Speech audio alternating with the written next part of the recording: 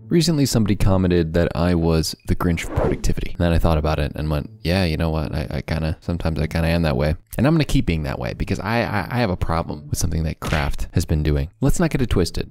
Craft did make a desktop app recently and it looks pretty, but is it that functional in comparison to the web app? No, no, not really. Since I don't want to be a complete clown on this video, I will actually give them some credit and show you some things that they're doing to make stuff better on the desktop app. They recently implemented the list view to web and Windows apps, which may seem small, but it is nice to be able to toggle between the grid and the list view because personally for me, looking at just one view like this was, was kind of bothering me. I was like, why can't I look at it outside of something that just looks like large, excessively large pages over here? And obviously when you sort something like this, it's, it's a lot more convenient than when it's in a left to right grid. And something that overall the app has done recently is additions to tables. So if I go in here, I just put an equal sign and guess what? You have the ability to do some basic math functions within Craft, which is amazing. You have sum, so you can do left, below, right, above. So let's do below. Say I do five, six, seven, eight. It's really quick and easy and you can have some basic formula functionality within Craft now, which is a little bit out of what their scope was prior, but I do appreciate this because it is still a simple table and that's kind of what their shtick is. They've never gone too crazy with trying to be too advanced with databases or anything, which has been nice.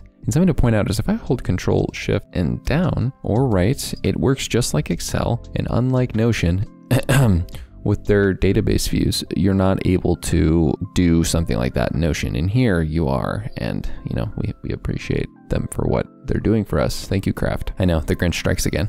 But here's some things that kind of suck still within the web app and the desktop app that, that I would like changed, please. If you wait till the end of this video, I'll, I'll have the most egregious one. But to start off, if I do this daily note thing and put to do and do some examples, example two, there used to be this thing that you could see on the Mac app, I'm sure it's still there, that would essentially aggregate all of these different tasks throughout your different documents, show it at the top. I feel like that would be something pretty easy to code, and I don't, I don't particularly like the fact that that's not there. I also don't particularly like the fact that when I look into the craft extensions situation for desktop, I'm not exactly finding anything good. I know that it's a bit of an open source situation, but trying to find information on this isn't exactly the best thing on the planet. Um, this is a pretty vague page and then does talk about different extensions that exist. So say I bring in something like this, for example, it shows you then in the back end, you can add craft extensions. It gives you this is currently in developer preview. If I download this extension, for example, if I go to a page here, I can go here and do this and add this extension and send it to apps. If I click on this, we see that there are some options for adding things, literally. So if we, for example, click on Ulysses or